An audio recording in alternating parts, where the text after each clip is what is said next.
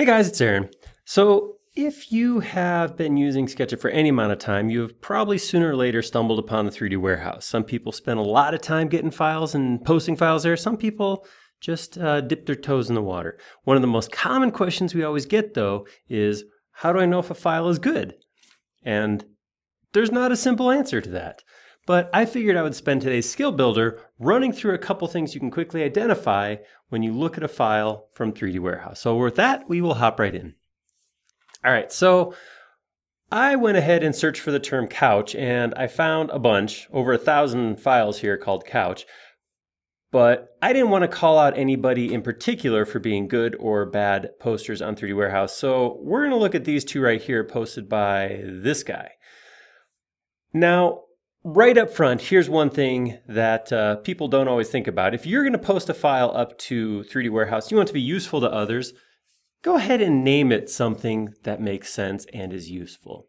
If you're posting a couch to 3D Warehouse, don't call it red car.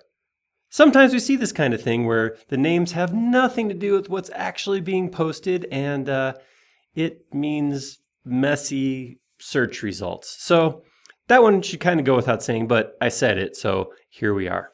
All right, so I do have these two couches that are very similar to each other. In fact, based on the thumbnail, they look almost identical.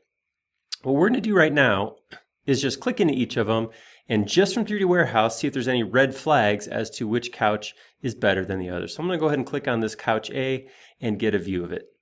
All right, so when it comes up, it's a picture of a couch. I can look over here and I see some information, basic information about it. Uh, one thing right here is this does have 32 materials. Uh, it's a red couch. I wouldn't think that it would have that many materials. If I click through, I can actually see, okay, yeah, there's a bunch of materials here. Some, some metal. That's an odd one. I don't see that. Oh, and look at here. Here's a, here's a giveaway. I have some mark colors. So this this model contains default information like the colors of Mark, the facing component for the version of SketchUp that was used to create it, but it also has some things like these metal textures and aluminum textures and all these other colors. That's that's that's suspect. It's a reason to be thought thinking of maybe why is this guy right here putting all this stuff in here? The other thing is file size and polygons. Now, there's not a number that is a good number of polygons for a given model, and there's not a bad size of a file for any specific model, but it's something to look at. So this right here is 23 megabytes. It's over 60,000 polygons. Now it is a curved shape. I do have some nice round cushions in here, but uh, that may be excessive. I don't know for 100% sure, but uh, it's something to keep an eye on. If we go back and look at the other couch, let's look at couch B, just click on that. And again, very similar thumbnail, almost the exact same, but if I look at this right off the bat, two materials. All right, 355K, that's significantly smaller than the last one, and 887 polygons rather than over 60,000. So again, side-by-side -side comparison shows that this, this file, this second one, is probably going to be a tighter model, even though it looks pretty much the same as the other file. Now here's a big thing. Downloading the file. I can access 3D Warehouse from inside SketchUp, no problem. And it's a great way to grab models that you have, you already know, and you've vetted, and pull them directly into a model. When you hit download, it's going to say, do you want to download directly? You have the choice of putting it right in the model that you're working on, or you can download it and take a look at it first always, unless you know the file you are downloading is exactly what you want and it's usable, I would recommend against putting in your model. The problem is if I do download a big model into what's already a big model, I can overwhelm SketchUp. Depending on your capabilities of your computer, you might be just pushing too many polygons at it. So I always recommend download it, open it first before you drop it right into a working model. So I've done that. I've gone ahead and I have downloaded both Couch A and Couch B.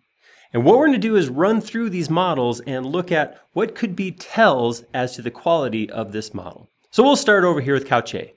So first thing I generally do when I import a model is click on it and whoa. First thing I'm seeing here is loose geometry.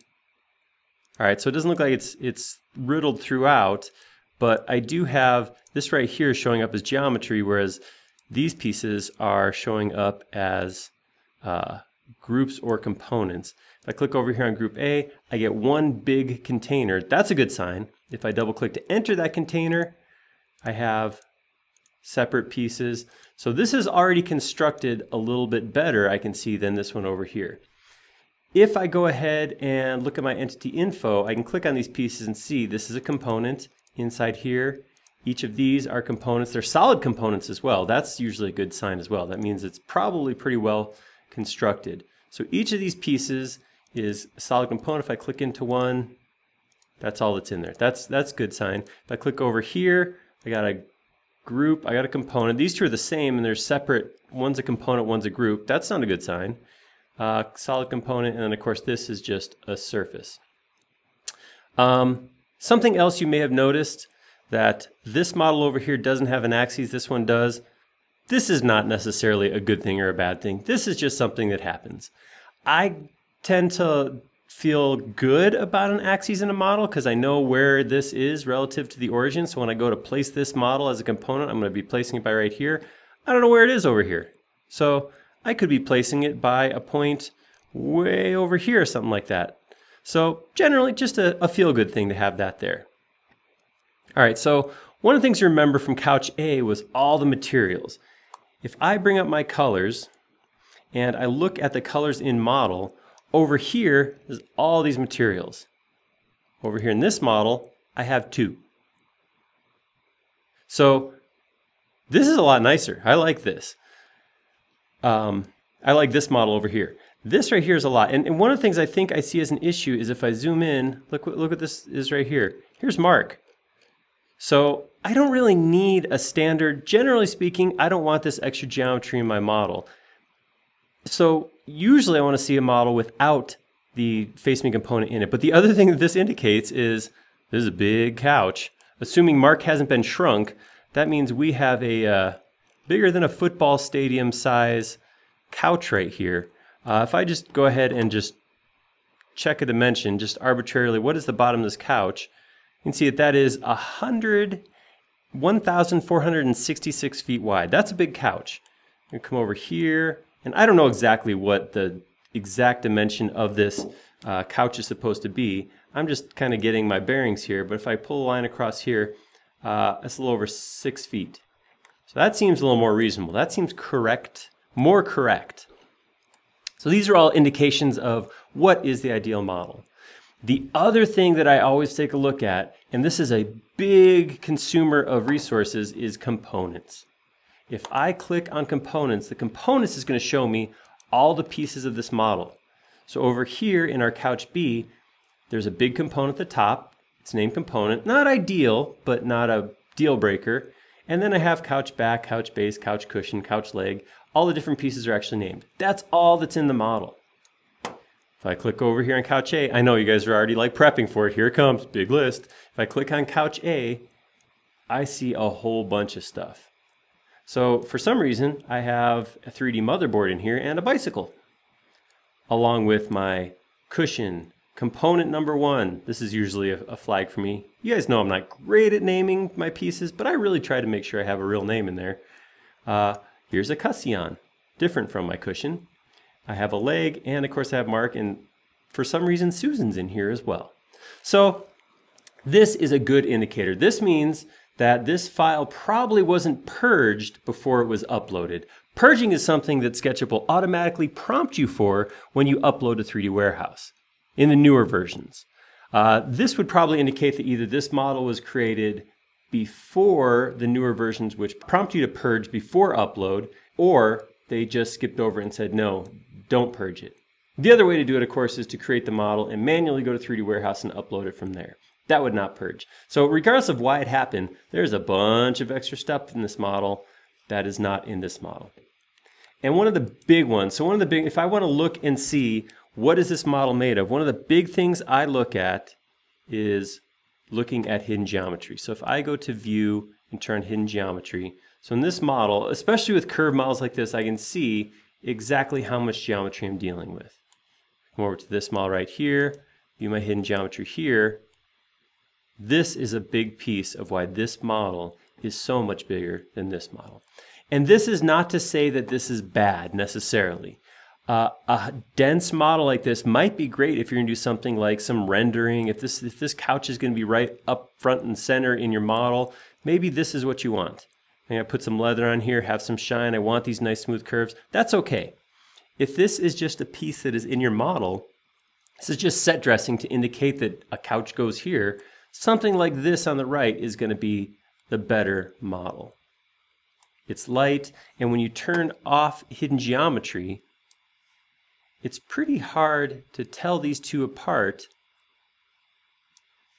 just with the softened uh, corners of SketchUp.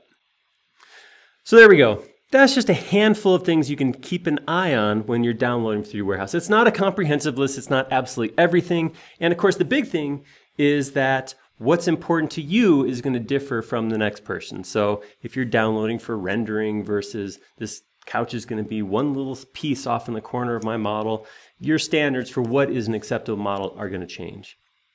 Hopefully that's helpful though. Hopefully you picked up a tip or two on how to evaluate a SketchUp model when you go to download it for use from the 3D Warehouse.